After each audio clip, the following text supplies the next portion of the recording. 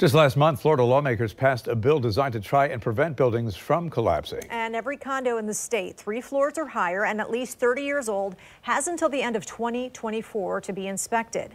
News4JAX reporter Aaron Farrar joins us live. Aaron, this will mean increased costs for condominium owners.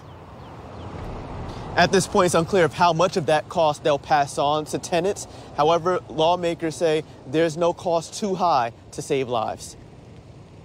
The new law requires condos to submit an engineering report to the local building authority so the state can see if there's any damage caused by the time or the elements. In Surfside's case, investigators say waterproofing below the pool deck failed, causing major structural damage. They say that, combined with years of neglect, created a deadly situation. Recertification would be required after 30 years or 25 years if the building is within three miles of the coast then every 10 years after. Previously, buildings over 75 feet only needed a structural evaluation if there was a major renovation planned. Champlain Tower South was 40 years old and going through a recertification process required by Miami-Dade County when it collapsed.